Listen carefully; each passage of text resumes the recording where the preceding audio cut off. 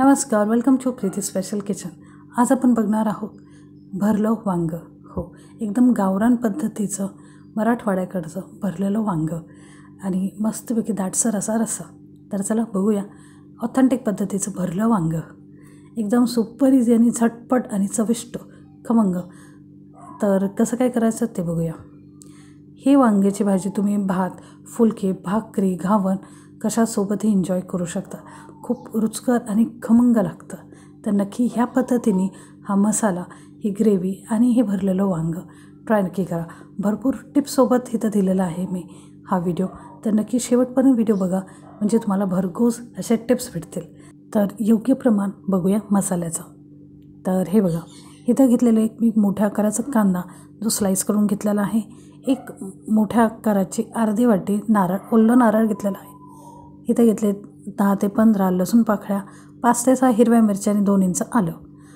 इथं same ratio घ्यायचा कांदा तितकं ओलं नारळ. इथं आंबटपणासाठी मी घेतले दोन टमाटे. मध्यम आकाराचे दोन टमाटे त्याचे चार फोडे केलेले आहेत. मोठ्या आकाराचा असेल तर एखादा घेऊ शकता तुम्ही किंवा दोन छोटे. आणि हिथं आता लागणार आहे आपल्याला सुके मसाल्यामध्ये घेतलेले पाव चमचा हळद घोडा मसाला एक चमचा मीठ चवीनुसार अर्धा चमचा एक चमचा लाल तिखट एक चमचा कांदा लसूण मसाला. मी घोडा मसाला घेतला आणि कांदा लसूणही घेतलेला आहे प्लस लाल तिखटही घेतलेलं आहे. म्हणजे तवंग खूप छान येईल. आणि असे वांगे आपल्याला घ्यायचे आहेत भरलेले वांगे करण्यासाठी. म्हणजे जे जास्त जांभळे किंवा जास्त हिरवेही नाही. असे व्हाईट आणि जांभळे असतात ना ते गावरण वांगे असतात. ते कवळे असतात आणि ते जास्त पोटाला बाधतही नाही. तर अशा प्रकारचे हे मी पाव किलो वांगे घेतलेले आहेत. पाव किलोमध्ये साधारण म्हणजे सात वांगे बसलेले. आणि कोथिंबीर घेताना अशी भिजून घ्यायची कोथिंबीर. हवी तितकी तुम्ही कमी जास्त घेऊ शकता त्याचं काही प्रमाण नसतं. पण वाटीमध्ये अशी सोक करून घ्यायची भिजून घ्यायची. मग स्वच्छ धुता येते ती. आणि हिता हे आपले मसाल्याला अजून काही लागणार आहेत ते साहित्य? म्हणजे एक चमचा जिरे दोन चमचे शेंगदाणे एक चमचा धने आणि एक चमचा तीळ. पांढरे तीळ अख्खे धने जिरे आणि शेंगदाणे आपल्या आवडीनुसार कमी जास्त. मी दोन चमचे घेतलेले आहेत. आणि आत्ता जे आपले सुके खडे मसाले म्हणजे धने तीळ जिरे आणि शेंगदाणे त्याला आपल्याला ड्राय रोस्ट करायचं आहे. तर तुम्ही तव्यातही करू शकता किंवा अशा पॅनमध्येही करू शकता. बस त्याला सुक्कं भाजून घ्यायचं आहे म्हणजे कच्चा रॉ स्मेल निघाला पाहिजे. शेंगदाणे भाजून होतील जिरे तीळ आणि धनेही. तर साधारण दोन मिनटं लागतात याला भाजायला. जास्त टाईम नाही लागत. हे बघा. छान असं भाजून झालं की आत्ता आपल्याला याला सुकी पावडर करायची आहे. शेंगदाण्याचं कूट करतो ना तसं. तुमच्याकडे जर ऑलरेडी शेंगदाणा आणि तिळीचा कूट असेल तर काही हरकत नाही. धने जिरे पावडरही तुम्ही वापरू शकता. पण बहुतेक वेळा आपल्याकडे धने जिरे असतात पण शेंगदाणे किंवा तिळीचे पूड नसतो त्यामुळे. तर हे थंड झाल्यावरती आपण याला सुकी पावडर करणार आहोत. हे थंड होतपर्यंत आपण आपला कांदा आणि टमॅटोचा मसाला करूया. तर ते काढल्यानंतर ते थंड हो देऊया. आणि आत्ता आपण दोन ते तीन चमचे तेल आपल्याला घ्यायचं आहे. छोटे दोन ते तीन चमचे तेल. पॅन छान गरम झालं तेल की मग आत्ता आपण टाकणार आहोत आपला कांदा. तर हे बघा. हे तर तुमचे मध्यम आकाराचे कांदे असतील तर तुम्ही दोन घेऊ शकता. मोठ्या आकाराचा असेल तर एक सफिशंट होतो. जसं मी तुम्हाला सिंपल रेशो सांगितला एक वाटी नारळाचे काप आहेत तर एक वाटी कांदा हवा म्हणजे मोठ्या आकाराचा असा रेशो घ्यायचा. किंवा तुम्हाला ओलं नारळ नसेल आवडत तर तुम्ही सुक्कं नारळही घेऊ शकता किसलेलं सुक्कं खोबरं. तेही अर्धी वाटी घेतलं तरीही चालतं. ही भाजी साधारण चार मेंबरसाठी परफेक्ट आहे. तर परफेक्ट भाजी होते रेशो होतो चार वाट्या. चार ते साडेचार वाट्या हे आमटी बनते म्हणजे रस्सा बनतो. तर योग्य प्रमाण आणि एकदम अचूक टेस्ट नक्की ट्राय करा. तर कांदा थोडा हलका गुलाबी झाला की टाकले मी नारळाचे काप ओले नारळाचे काप. तेलही आपल्याला थोडं तेलामध्ये भाजून घ्यायचं आहे. ओलं नारळ आपल्याला कच्चं राहता कामा नाही. त्यामुळे तर हे बघा तेल आणि तेलामध्ये कांदा आणि आपलं ओलं नारळ छानपैकी हलकं गुलाबी करून घ्यायचं. त्याच्यानंतर आपण ह्याच्यात ॲड करणार आहोत आलं लसूण आणि हिरव्या मिरच्या.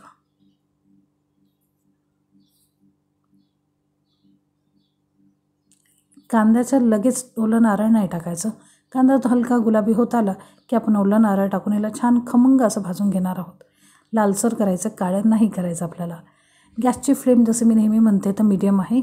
मीडियम टू हाय एकदम स्लो किंवा एकदम फुल नाही करायचं. आणि सतत हलवत त्याला स्टर करत भाजून घ्यायचा मसाला. बरेचसे जण तव्यावरती कम्फर्टेबल असतात. तुम्हाला तवा आवडत असेल मसाला भाजायला तर तुम्ही तव्यात करू शकता. काही प्रॉब्लेम नाही.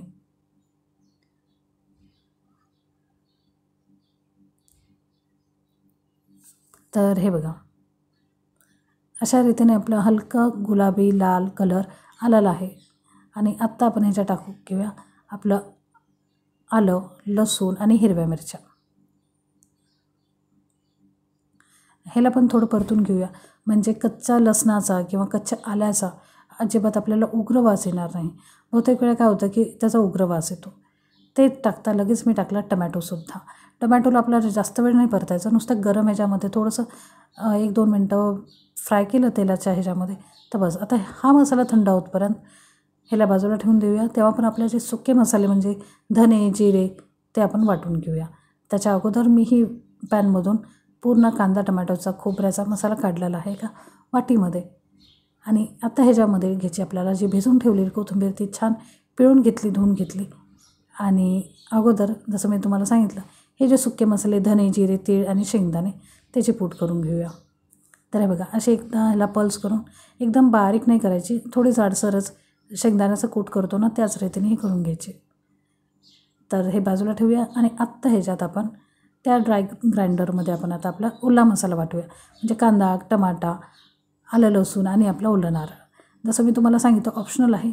तुम्हाला ओलं नसेल आवडत तर तुम्ही सुक्या नारळाचा किसासोबतही करू शकता. म्हणजे सुक्या खोबऱ्यासोबतही वाटण करू शकता. तर हे बघा आपलं हे वाटण दोन बॅचेसमध्ये मी बनवून घेतलेलं आहे. एक बॅच तुमच्यासमोर आणि हा दुसरा बॅच आता आपल्याला ह्याच्यामध्ये मिक्स करायचं आहे. आपले जे शेंगदाणे तीळ जिरे जे वाटून घेतलेले ना त्याचे पोट. तर अर्धे पोट ह्याच्यात मिक्स केलेले आणि अर्धे पोट मी फोडणीसाठी ठेवलेली आहे. जेव्हा आपण मसाला परतूया ना तेव्हा लागेल. आता हे कशाला ह्याच्यात अर्ध ह्याच्यात आणि अर्ध त्याच्यात? तर हे रिमेनिंग मसाला पण मिक्स करणार आहोत आणि हे आपण ह्याला वांग्यामध्ये फिल करणार आहोत त्यामुळे. तर हे बघा ह्याच्यामध्ये आपल्या ऑलरेडी कांदा टमॅटोमध्ये आपल्या हिरव्या मिरच्या आहेतच. टमॅटो पण आहे आलं लसूण आहे कांदा आहे खोबरे आणि हे पूडही टाकलेलं आहे. एक ते दोन चमचे पूड आपण शिल्लक ठेवलेला आहे आपल्या फोडणीला. तर आत्ता आपल्याला ह्याच्यात नुसतं मीठ ॲड करायचं आहे. ते बघा चवीनुसार अर्धा चमचा मी मीठ ॲड केलेलं आहे.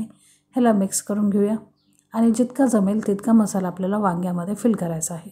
आता वांगं कसं काय फिल करायचं तेही बघूया डिटेलमध्ये तर चला वांगं कशा रीतीने कापायचं आणि कसं फिल करायचं ते बघूया. हे बघा इथं वांगे घेतलेले आहेत मी. देठं मी अजिबात काढले नाही आता तुमच्या समोरच मी काढते. वांगे ऑलरेडी मी धुवून घेतलेले. त्यामुळे त्याला दाखवण्याची काय मला गरज नाही वाटली. तर हे बघा इथं सात ते आठ वांगे आहेत साधारण माझे. सात वांगे आहेत. हे बघा ह्याचे अर्धा देठ काढून घ्यायचं म्हणजे साधारण एक ते दीड इंचेचं देठ राहू द्यायचं त्याला. म्हणजे वांगं खाताना त्याचा देठाचाही चव खूप छान लागते. आणि ह्याला असं पूर्ण चार फोडी करायच्या एकदम आरपार नाही करायच्या. त्याला स्टक राहू द्यायचं जिथं देठाचा भाग येतो ना कापाचा. ह्याला असं कापून बघून घ्यायचं चेक करायचं. त्याच्यात किडे तर नसतात किडलेलं तर नाही ते वगैरे. तर एकही वांगे आपलं किडलेलं नाही याच्यात तुम्ही बघितलं. पूर्ण ह्याला असं चिरायचं देठापर्यंत. आणि हे उघडत नाही. कारण की देठापर्यंत आपण चिरलेलं आहे देठाला नाही चिरलेलं. तर तुम्ही बघू शकता. एकही वांग आपलं खराब नाही आहे.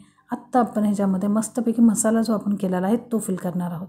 तर हे बघा एकूण एक सगळे वांगे मी इथं कापून घेतलेले आहेत. तर आता काय करायचं? आता ही वाटी घेतली. ह्याच्यामध्ये मीठ मसाले सगळे ॲड आहे. शेंगदाण्याचं पूड तिळचा पूड धने जिरे एव्हरीथिंग आता बस ह्याला फिल करायचं आणि ह्याला थोडंसं प्रेस करायचं. म्हणजे ह्याचा मसाला सुटता कामा नाही.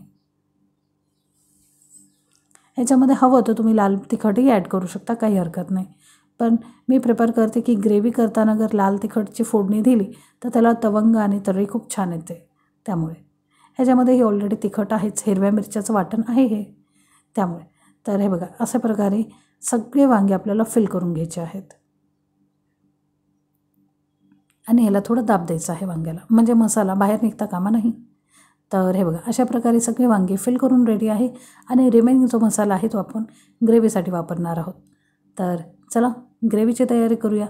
तर इथंही काही भरपूर टिप्स आहेत तर नक्की व्हिडिओ स्किप करू नका. स्किप न करता पूर्ण बघा. तर हे बघा इथं मी पॅन ठेवलेला आहे कढई ठेवलेली आहे.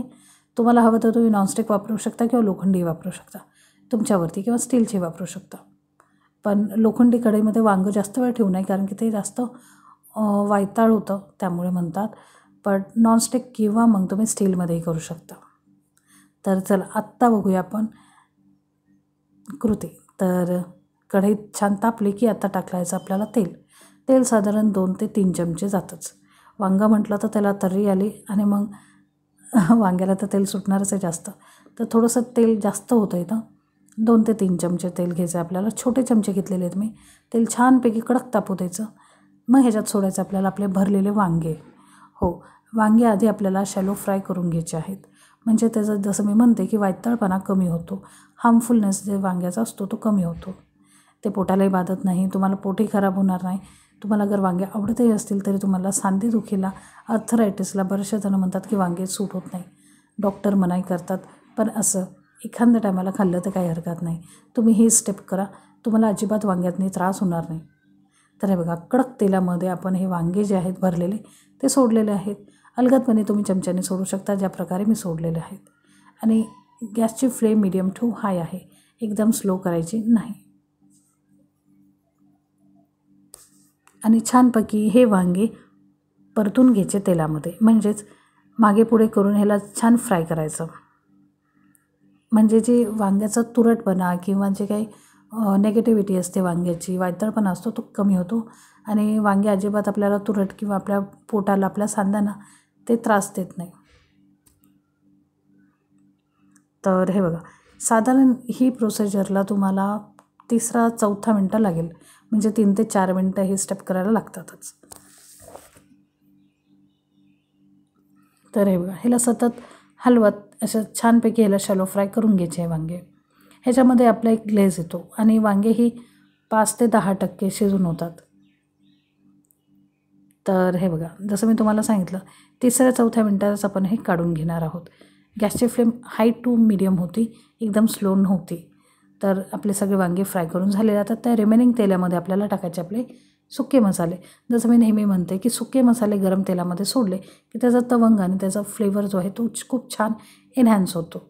सुके मसाले टाकले हळद लाल तिखट कांदा लसूण मसाला घोडा मसाला आणि मीठ. तर त्याच्यासोबतच टाकलं आपलं जे रिमेनिंग वाटण होतं वाटीतलं आणि जे आपली शेंगदाण्याची आणि तिळीची पूड होती जिरे देणे तीही टाकली. हे टाकल्यानंतर छान ह्याला सगळ्या मसाल्याला एकजीव करून परतून घेतलं. तर हे बघा हे छान सगळं एकजीव करून परतून घेतलं. त्याच्यानंतर जारमध्ये मिक्सरच्या थोडंसं पाणी ॲड करून जे काय गरम पाणी मी एका बाजूला ठेवलेलं आहे एक ते दीड ग्लास त्याच्यामधून मी थोडंसं पाणी मिक्सरच्या जारमध्ये वॉश करून घेतलेलं आहे. कशाला इतकाही मसाला फुकट जाऊ द्यायचा? तर हे बघा छानपैकी आपल्या मसाल्याला तवंग आलेलं तुम्ही बघू शकता. तेल सोडलेलं आपल्या मसाल्याने. तर चला हे मसाला छानपैकी आपल्याला परतून घ्यायचा. मसाला अजिबात आपल्याला ग्रेव्हीमधला कच्चा राहता कामा नाही.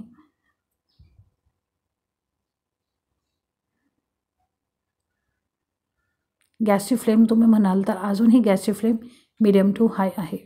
एकदम स्लो मी करत नाही. लास्टमध्ये करणार जेव्हा मी झाकण ठेवणार आहे.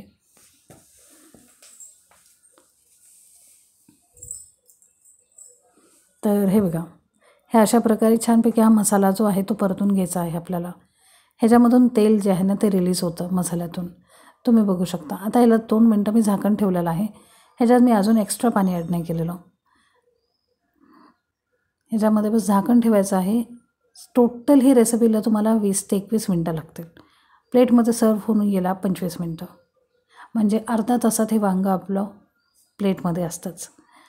तर एकदम सुपर इझी आणि झटपट होणारी अशी चटपटीत झणझणीत अशी भरलेल्या वांग्याची भाजी आहे.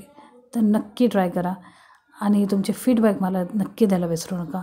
गावरान पद्धतीच्या अशा अजून काही तुम्हाला रेसिपी बघायच्या असतील तर तेही मला कळवा. तेही आपण बघूया.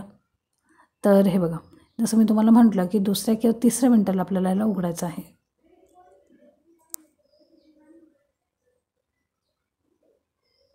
तर आपला व्हिडिओ आपली ही रेसिपी तुम्हाला जर तरी आवडत असतील तर नक्कीच आपल्या चॅनलला लाईक करत जा. शेअर करत जा आपल्या मित्रमंडळीसोबत आपल्या कुटुंबासोबत आपल्या फॅमिली फ्रेंड्समध्ये शेअर करत जा आपल्या ग्रुपमध्ये शेअर करत जा. सबस्क्राईब केलं नसेल तर सबस्क्राईब करत जा. सबस्क्राईब करायला विसरायचं नाही. सबस्क्राईब आपल्याला एकदाच करायचं आणि ते कायमसाठी राहतं. सबस्क्राईब केलं असेल तर बाजूचं बॅलॅकॉन दाबायचं. म्हणजेच आपले सर्व व्हिडिओ सर्वात प्रथम तुम्हाला दिसतील. कारण की हे सगळे व्हिडिओ स्पेशली तुमच्यासाठी असतं. जे काय आपले चाहते आहेत आपल्या चॅनलचे त्यांच्यासाठी. तर नक्की ह्या चॅनल आपलं व्हिजिट करा फॉलो करा आणि सबस्क्राईब केलं असेल तर नक्कीच आपल्या चॅनलला कमेंट करून कळवा. तर हे बघा. छानपैकी मसाल्याला तवंग आलेला तर आपण झाकण उघडून बघूया थोड्या वेळातच. हे बघा झाकण उघडून तुम्ही बघू शकता. मस्तपैकी मसाल्याला तेल सुटलेलं आहे. म्हणजे मसाला जो आहे तो पूर्णपणे शिजलेला आहे. आता आपण ह्याच्यात थोडं थोडं करून पाणी ॲड करणार आहोत. इथं जसं मी तुम्हाला सांगितलेलं मी ऑलरेडी एका बाजूला गरम पाणी केलेलं आहे. एक ते दीड ग्लास. जितकं तुम्हाला ग्रेव्हीला पाणी हवं तितकं तुम्ही ठेवू शकता. काही हरकत नाही. परत ह्याला झाकण ठेवून एक अर्ध्या मिनटासाठी आपल्याला याला उकळून घ्यायचं आहे. कोणतीही रस्साभाजी करताना आपल्याला सतत गरम पाण्याचाच वापर करायचा असतो. अशा प्रकारचं झाकण असेल तर नक्कीच वापरा. हे खूप बेनिफिट असतं. म्हणजे ह्याच्या ओत येत नाही. ग्रेव्हीला होल असेल काचेचं झाकण असेल तर नक्कीच वापरा. बाजूला ठेवून देऊ नका. आत्ताच वापरायचे दिवस आहे आपले तर नक्कीच वापरा. तर हे बघा. ह्याच्याने काय होतं की एक्स्ट्रा जे होल असतं ना त्याच्यातून स्टीम निघते. स्टीम निघल्याने काय होतं की आपलं जी भाजी आहे ते वर बाहेर पडत नाही झाकणाच्या किंवा वर येत नाही. ही मेन आहे. त्यामुळे भांडे बनवताना त्यांनी काहीतरी पॅसिफिक विचार करूनच हे होल केलं असेल ना काचेच्या झाकणामध्ये. तर हे बघा आपल्या भाजीला खूप छान तवंग आलेला आहे. आता असंच करून मी रिमेनिंग पाणी पण ॲड केलेलं आहे.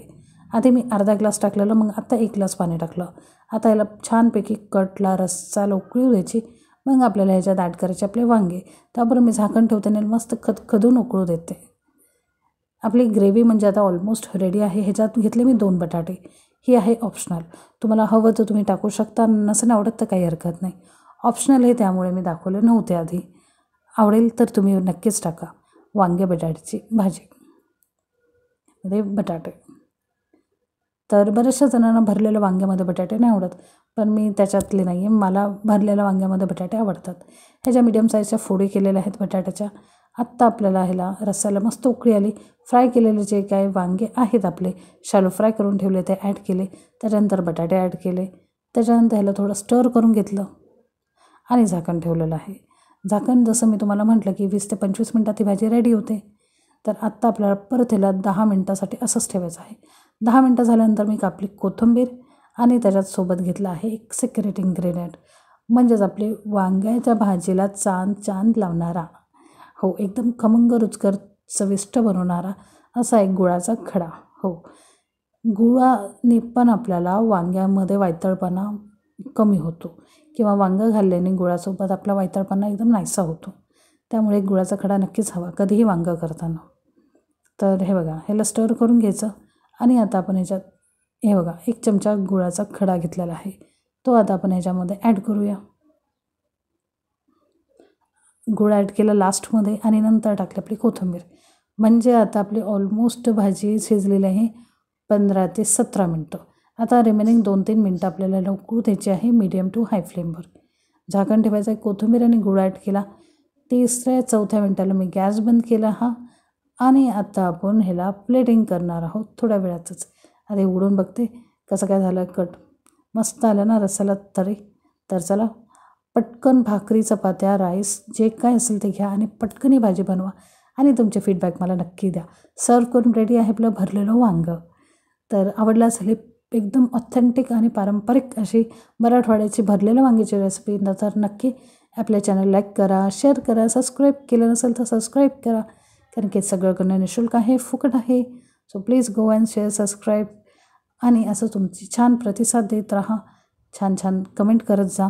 तुम्हाला आवडलं तरी तुम्हाला काय नसेल बघायचं ह्याच्यात तरीही की माझ्याकडून काय चुकलं किंवा अजून आपल्या ह्या रेसिपीमध्ये आपण काय ॲड करू शकतो तेही कळवा.